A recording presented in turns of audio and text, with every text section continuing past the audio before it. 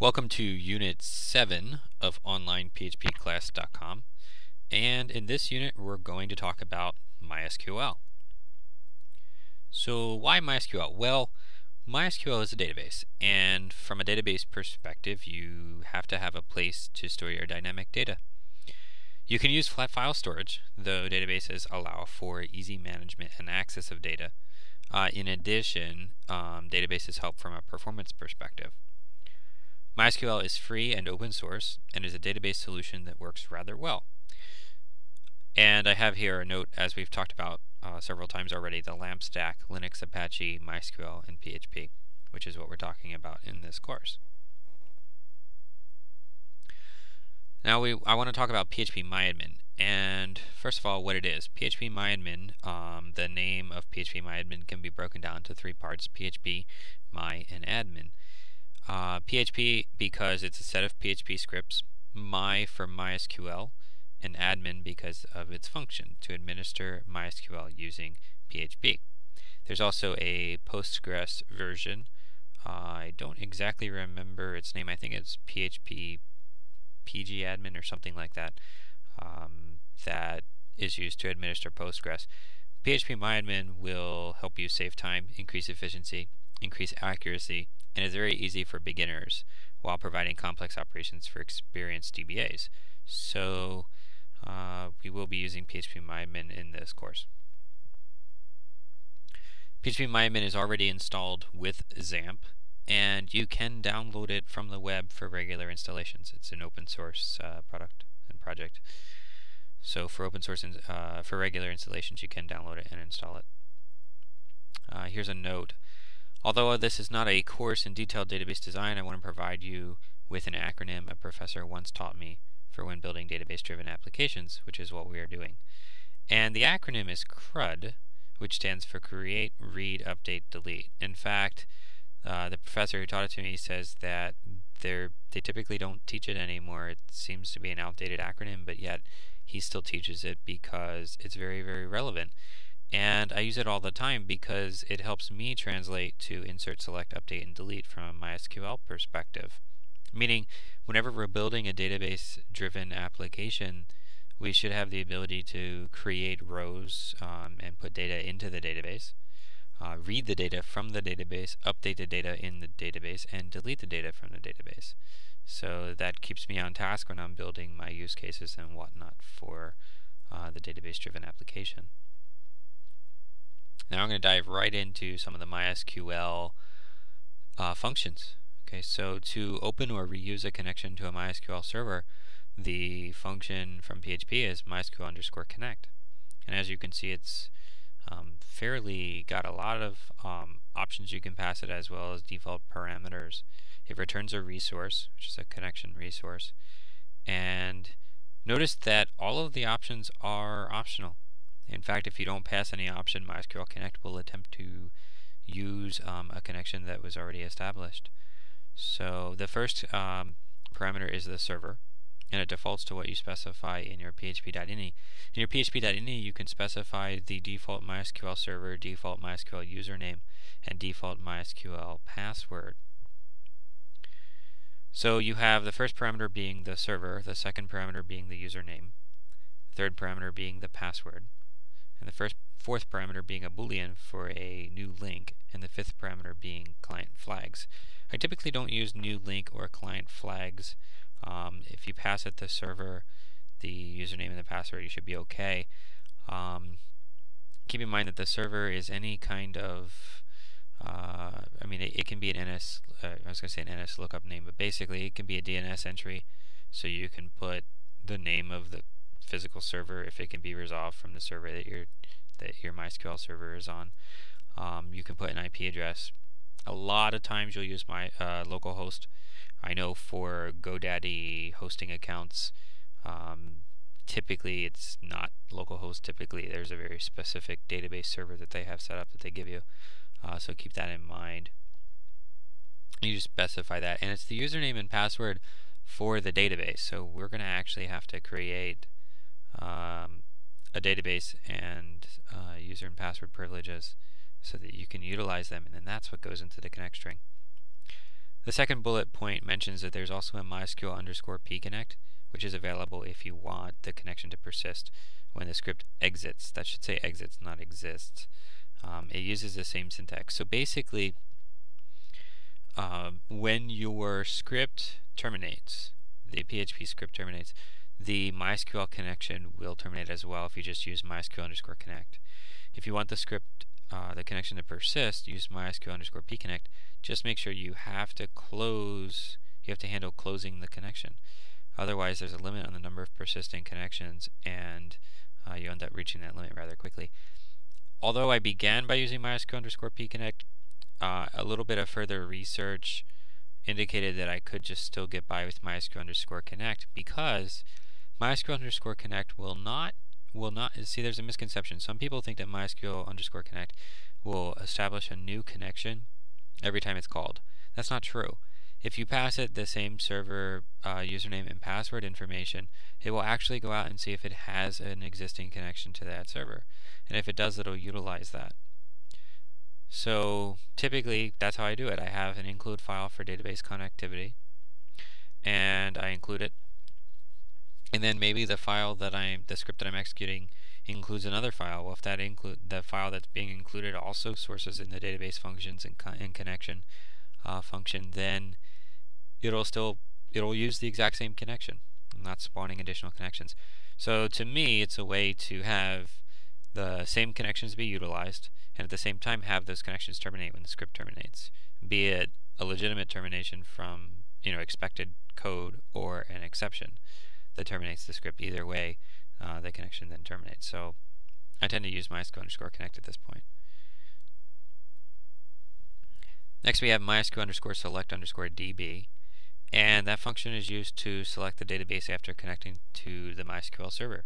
So basically what you'll do is you'll connect to the MySQL server, select the database, and then issue queries against it. And this function returns a boolean and you pass it the database name as well as the link identifier or the resource which is the return from the MySQL underscore connect. You do have to pass it a database name that is required the resource is not. If you don't pass it a database name, it'll go out and look for an existing MySQL resource. And I believe it uses the last resource um, that it found. I typically don't open multiple connections on multiple databases. I typically don't need to do that um, from a MySQL perspective. So uh, typically, if I don't specify the resource, it's just going to use the last. Uh, it's going to use the one that I opened because I only opened one. Uh, okay. Next we have MySQL underscore query. MySQL underscore query allows you to run a MySQL query. Pretty straightforward there. You can manipulate the database structure this way as long as the user has access. So you can automate database operations. Um, basically, like I said, you'll open a connection to a MySQL server, you'll select a database, and you'll run queries against it. This is as if you're running any kind of query against MySQL. It's literally the way to connect PHP to MySQL from a query perspective. So if you're creating tables, you can do that through here as well. Uh, a lot of times you'll be doing, you know, inserts, updates, deletes, that kind of thing. If you actually do uh, table table manipulations like creates and alters and and drops and that kind of thing, you can do that too. Uh, any type of MySQL query, you can uh, you can pass through MySQL underscore query. So it returns a resource, and you pass it the query string, as well as, uh, or as well as optionally the link identifier, which is the the MySQL connection. Um, keep in mind that actually, yes, I was going to say from a select, when you do a select DB, you're literally selecting the database for that particular connection. So the reason why you don't have to pass it the database name here and the reason why the select DB does not actually return a resource is because by doing the selectdb, you're it's as if you're changing the connection to say, okay, not only is this connected to this MySQL server, it's also pointing to this database. So that's why you're just passing it the connection resource identifier. And the query string here can be, you know, a string that says select star from table name, you know, where table name is the name of the table, that kind of thing and you'll get a MySQL query result um, resource value back. Now we'll talk about different functions that you can do with the MySQL resource uh, that comes back from MySQL underscore query. You can do MySQL underscore num underscore rows, which will allow you to get the number of rows in the result set. It returns an integer, and you pass it the resource, the, re the result resource, which comes from MySQL underscore query. So I just want to just point out, so basically, if we go back to MySQL underscore query, an example would be um, dollar $QR for query result equals MySQL underscore query open paren, you know, quote, select star from table name, end quote, close paren, semicolon. Then from here you can do uh, $nr for num rows equals MySQL underscore num underscore rows open paren uh, dollar $QR, close paren, semicolon and you'll get the number of rows that that particular select query returned. And I have a note that says this particular function only works on the command on on the wait this only works of the command usually select returns a if I should say if the command this only works if the command returns a result set. My apologies. Um, I don't know what happened with these slides. Um, but anyway, this only works uh, if the command usually select returns a result set. If you want to determine how many rows were affected using insert update delete, use MySQL underscore affected underscore rows. Okay. Um, so in the function for MySQL underscore affected underscore rows is the exact same, except you don't actually have to pass it a resource link identifier um, because it'll just use the open connection. Okay. Now we'll talk about different ways you can get the data from the MySQL result that comes from MySQL underscore query. One way is to use MySQL underscore result, which from PHP.NET says retrieves the contents of one cell from a MySQL result set. I use this function when I want to return counts or one cell. So in other words, one row column pair from a MySQL uh, database. B what I mean by counts is a lot of times um, I might do like select count open paren star close paren from such and such a table where such and such. Okay, then I'll get the the there will only be one row and one cell returned, one row, one column, which is one cell returned. So I'll use MySQL underscore result to get that value because it's much more efficient if you're just getting one particular cell. MySQL underscore result returns a string. You pass it the result resource as well as the row and ultimately the field. So if I just want row 0, uh, field 0, I'll pass it 0 comma 0. With, um, and the field can be is, a, is of a mixed type, I believe, because you can in addition pass it the column name. Um, so it can be a string or an integer. It's basically why it's of a mixed type. Alright, MySQL underscore fetch underscore row. Using for each in MySQL underscore num underscore rows, we can use MySQL underscore fetch underscore row to increment through an enumerated array where the array represents columns and each cell to MySQL underscore fetch underscore row sets the array to a row. Basically, this function returns a row, a MySQL row from your result set. What it, it returns it from in the form of an array, and you pass it the result resource. So the array that you get back, the indexes of the array, uh, 0, 1, 2, 3, etc., represent the columns in that particular row. So you increment through calling MySQL fetch underscore row, MySQL underscore fetch underscore row to get the different rows. And then uh, by doing that, you have an array and you can check the columns. You then check the columns in that particular row. Okay. Just it's okay if it's a little out there right now. Um, I'll be showing you some examples as we do the demo. You also have MySQL underscore fetch underscore assoc, and this fetches the results as an associative array. Okay, this is nice because the indices of the array are the column names of the database table. So whereas MySQL underscore fetch underscore row, the indices are numbers representing the actual column number.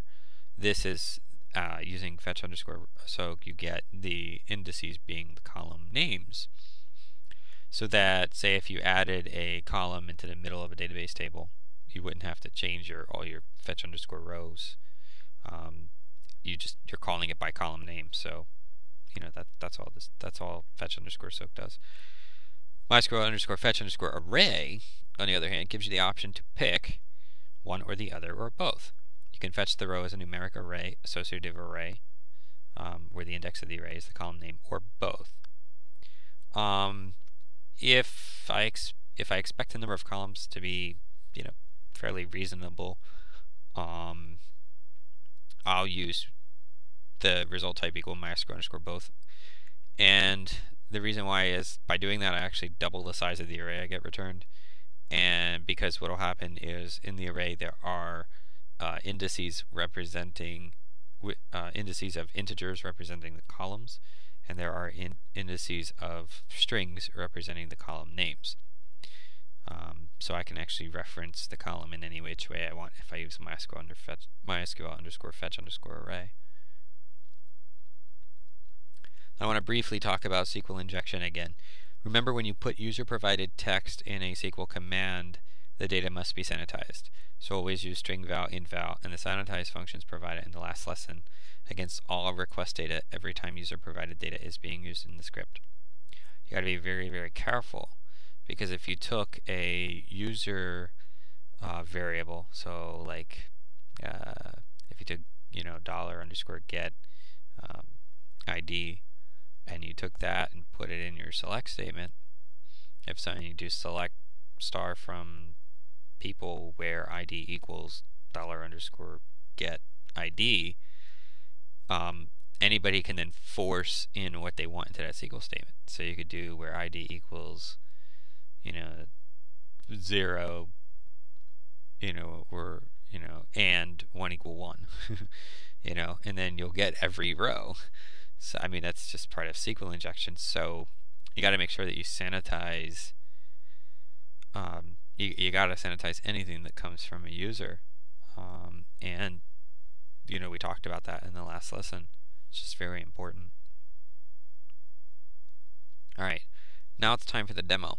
What we're going to do is we're going to create a database with uh, phpMyAdmin. Sometimes it's abbreviated PMA.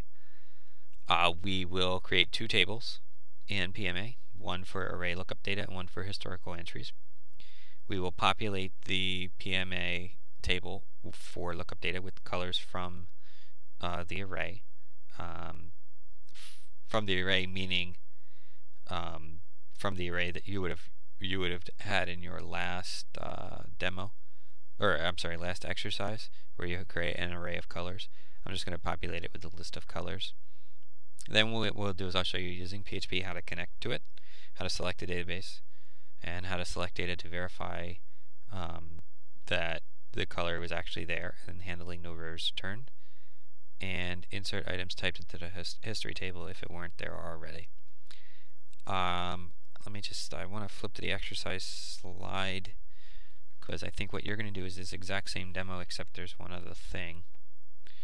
And yes, okay, so the exercise would be to do the demo plus adding the option to view historical entries uh, in a list.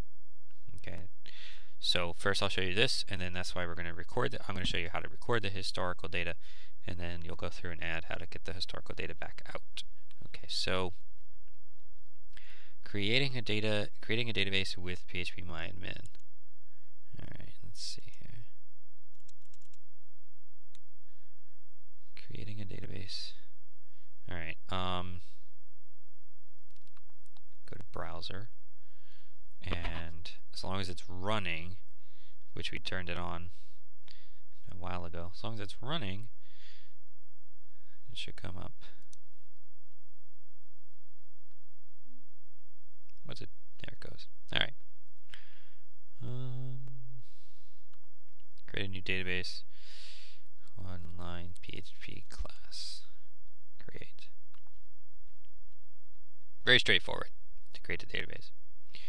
Now we're going to create two, what's it say, two tables, one for array lookup data and one for historical entries. So what I'll do, um, okay, what I'll do is array lookup data, so I'll say colors. I'm just going to name, let's see, I don't, I'll just make it one field because it's a lookup table, and I'll make the index the lookup value, I mean the, the primary key. So the field is color name, and it is a varchar variable character. 255. Let me make the max for now. Uh, no default. Uh, can't be null. Um, let's see.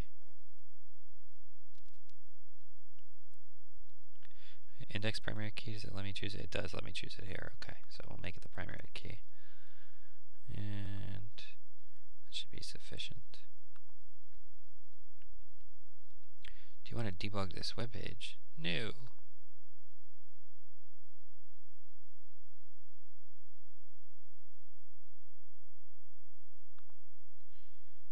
Alright, I don't know why I did that, but anyway. Table colors created.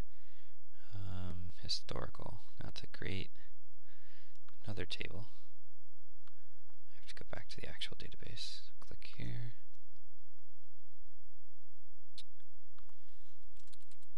Historical. And I don't, I want to have an ID value.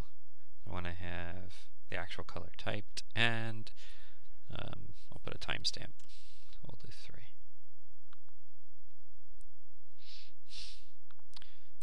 We can make this big. In. I'm just. My main thing is to teach you how to use PHP to connect to MySQL. Um, not so much the MySQL components. If you're interested more in, in if you're interested in addition to MySQL stuff, um, post some post that information in the forum, and we'll go from there. Alright, so that color string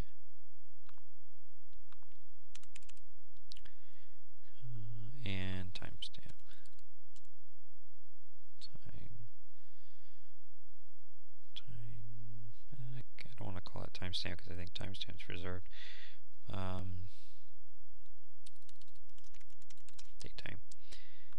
And we'll make this of type timestamp. And then we will save.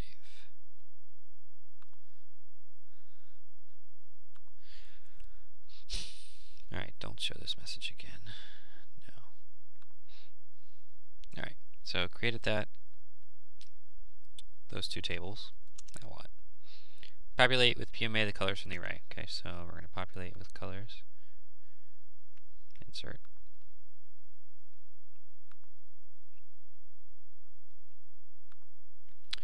blue, green,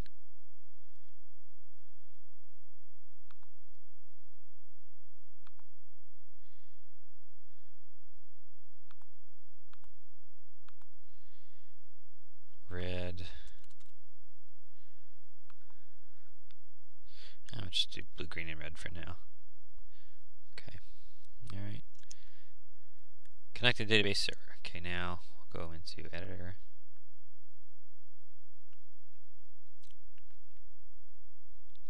Alright, here's our color.php. Connect to the database server. Okay. Con equals mysql underscore connect. In this case, it is localhost. Um, oh, you know what? I don't have a username and password, do I? Okay, let's do this then. Go to Home. Privileges. Add a new user. I could use root, um, but I don't actually want to do that. I want to show you how to how to grant a user here. So username,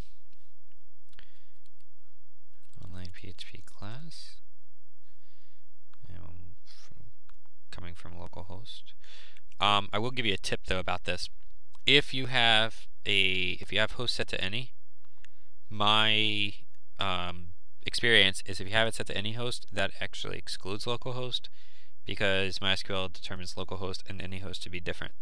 So if you want somebody to have localhost access as well as to be able to connect to the database from another host, then you have to give them both. Um, so use text field. Um, I'm just going to say OPC. Okay.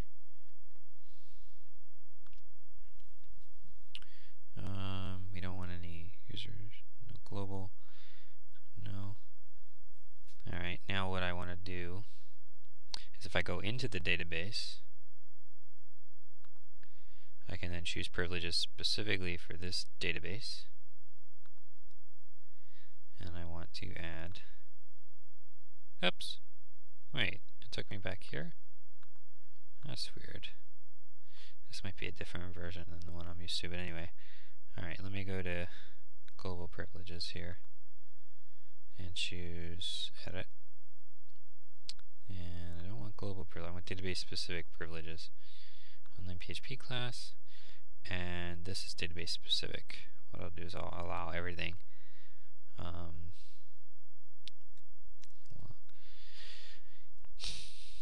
Alright, let's see.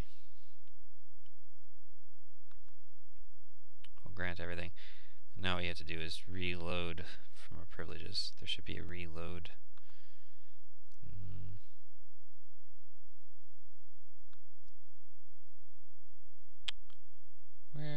Yeah, this is just a note saying you gotta set up authentication if you really want to go in prod or something like that. Um, there's usually a reload. I think it's uh, kind of, is it under server? Processes. Oops, why did it do that? Processes. Hold on.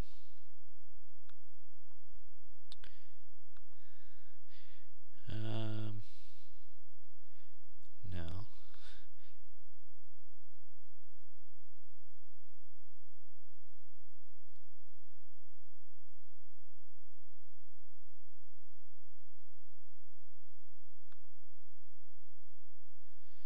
Don't know.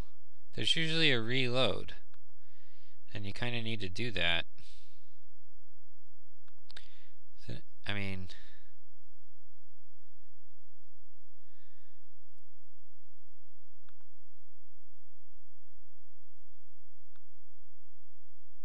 I wanted to make sure that if we do have to do it, that we can do it where...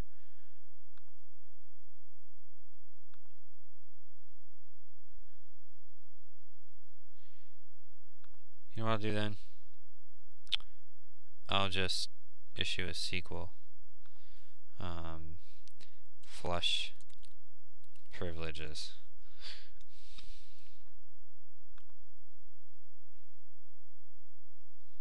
It's good question if it executed. um,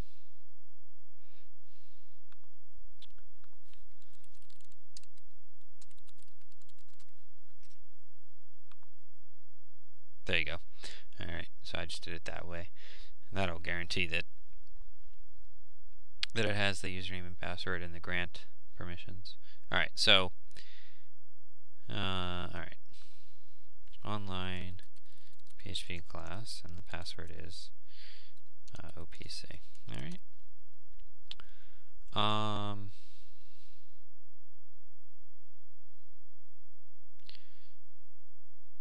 all right. what's the other stuff?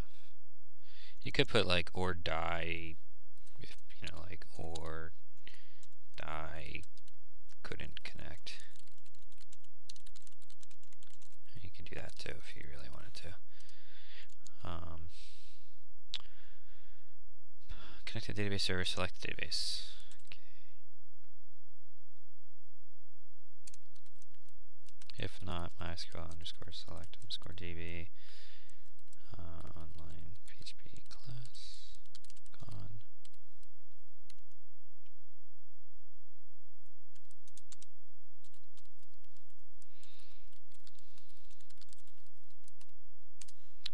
Okay, you can do it that way.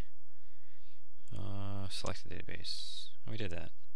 Select data to verify lookup, handling no res return. Alright, well before I do that, let me just make sure this works. Okay, good. Um,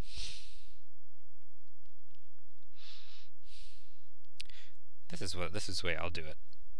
Um, query result equals MySQL underscore query. Uh, select color from, what was the name of the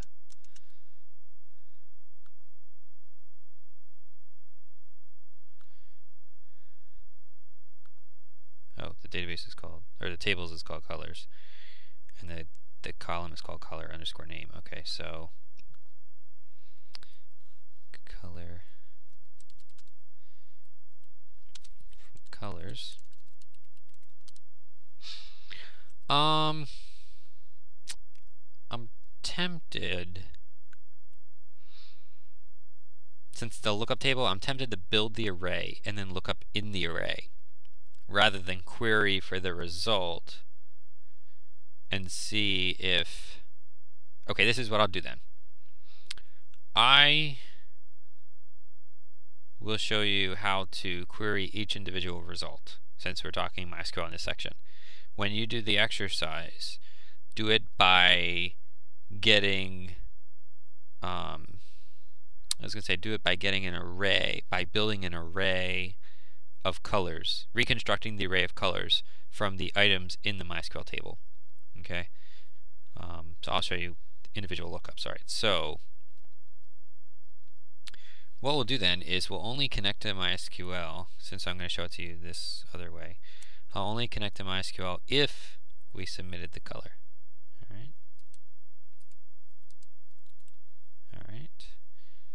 and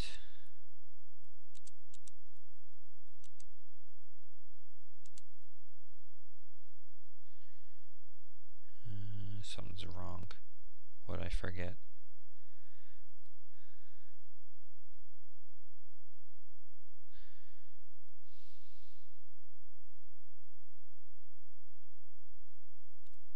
Something doesn't look right. Yeah. On line three. Oh.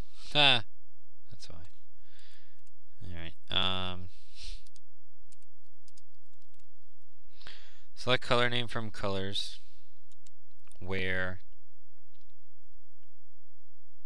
Now see, I didn't sanitize this. Where... And I really should.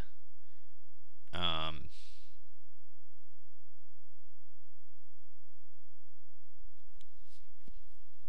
I don't like doing it without showing you the sanitizing, but make sure you sanitize.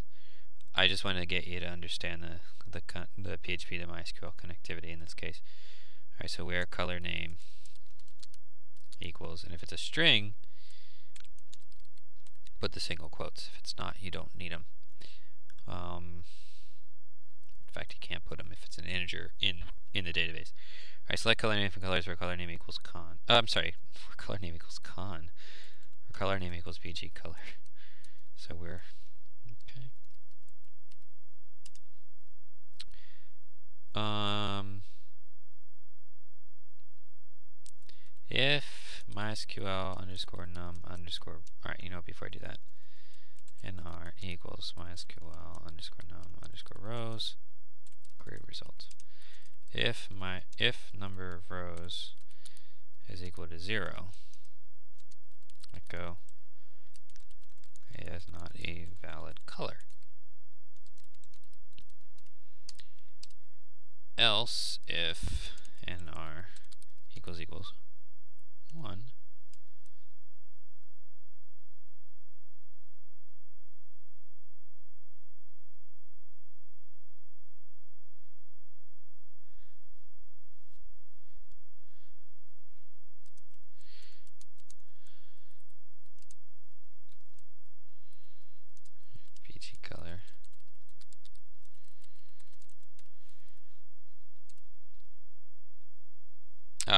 was going to say if it equals 1 then set it, but it'll already be set.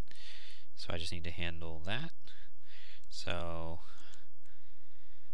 select database verify handling no rows return inserting items typed to history table if it wasn't there already. Okay. Oh, okay. So if it's not, then we're going to insert it into the history table.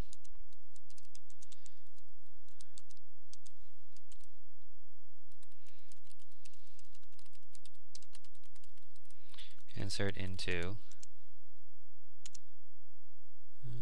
uh, oh wait it's here.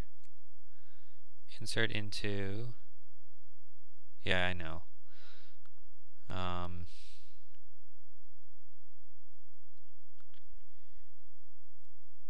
alright insert into historical. And I gotta know the columns. It's ID which is oh ID should be set to auto increment. My apologies on that one. So what I actually want to do is edit this. Color and date time. So auto increment attributes. No. No. No. Oh, the default should be. Oh, all right. So a couple of changes I got to make to these. Um, auto increment. Usually that's not the way it's listed in my phpMyAdmin, but anyway. So auto increment should be on the ID field. Yeah, I don't know why I'm getting these script errors. But anyway. Um, and date time should default on update current timestamp. Okay, fine. That's that already handled it for me. So that's fine. All right, good. So historical, and the structure is um, color, which you don't have to specify. ID you don't have to specify because it's auto increment. Uh, daytime I don't have to specify because because uh, MySQL will automatically put in current date and time. And color I do have to specify. So let's see here. So insert into historical, and the column is called color, and the value values is BG color. Okay. Uh, another one. Sorry. Close the query, then close the query, then this is really nice that it tells you matching up the, the parentheses. Okay. Else add it to the historical table. Close. Alright, if I choose, I'm to um, let's choose purple, which I did not put into the table. That is not a valid color. And if I go to the browser, and I go to historical, it looks like it did not add it. Oh, weird. Insert into. Um,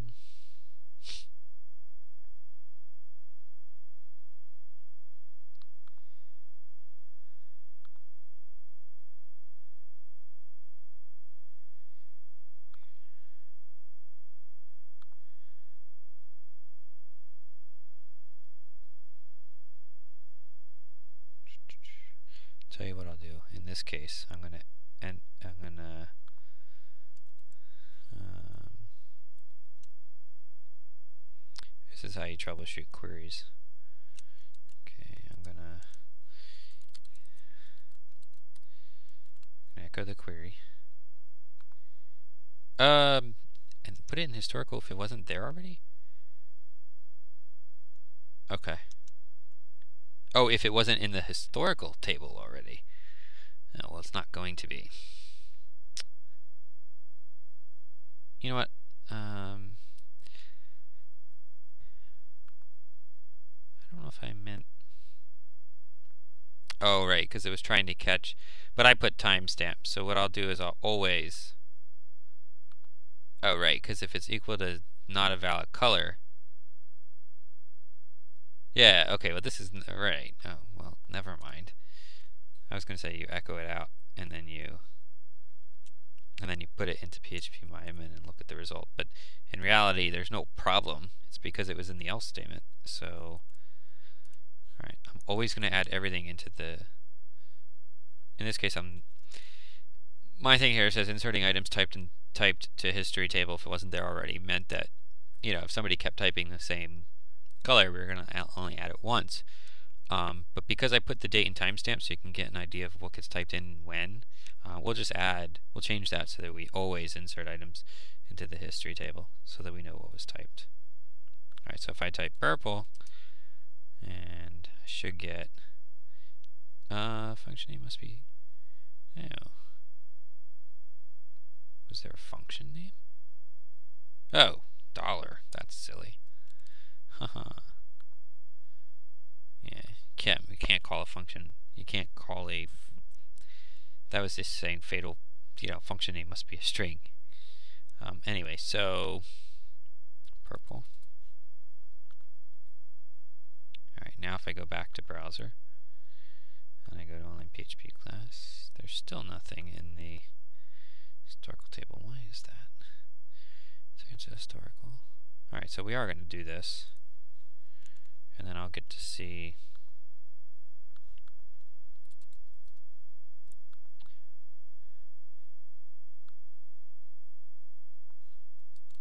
And I'll take the copy that and I'll paste it into SQL.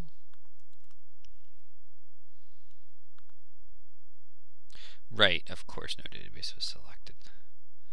But so here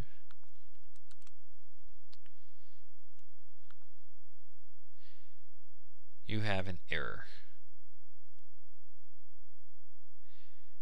Right near color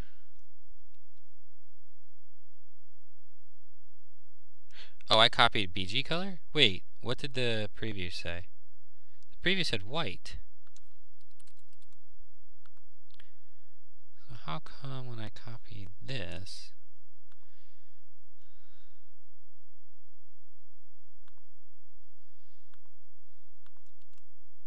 Why is it pasting BG color? When I'm actually copying, it's also reloading the page every time I click the tab, which is rather annoying. Um, but anyway. Alright, so insert into... Alright, I'm just going to then change... I wonder if there's a setting to keep it from refreshing. Tools...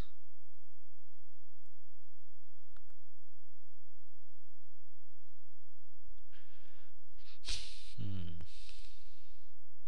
Yeah, you know what? I can I can look at this another time. I'm just curious. Anyway, alright, so SQL.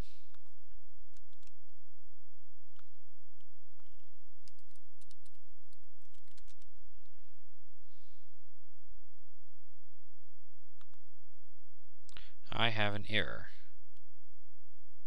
Insert into historical.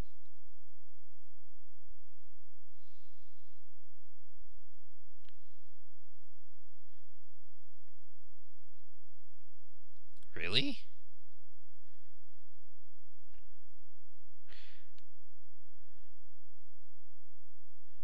Um, Alright, let me see something.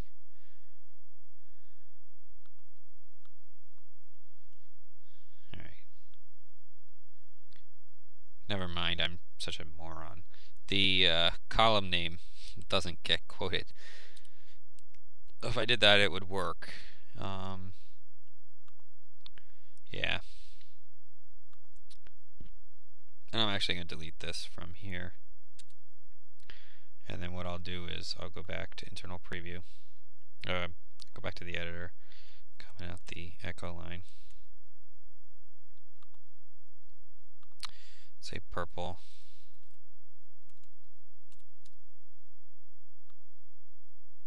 not about color, sorry, meant go to browse, my PHP class, still didn't Oh, because I didn't change it in the code. I just changed it. Okay.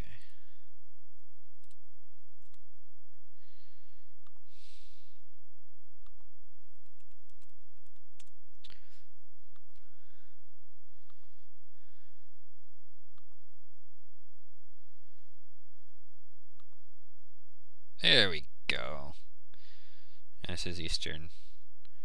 Um, actually, no, it's not. It looks like it's my... Why does it say midnight?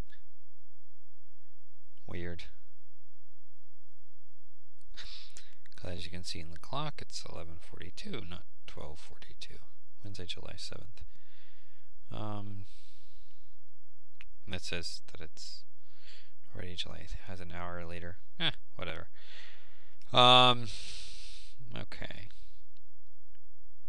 I don't know why it's saying that, but regardless, you have historical. Now, if I go and I do, I think I made blue a valid color, didn't I?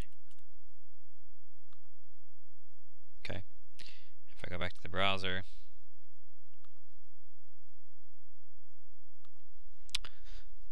okay, so that's how you do it.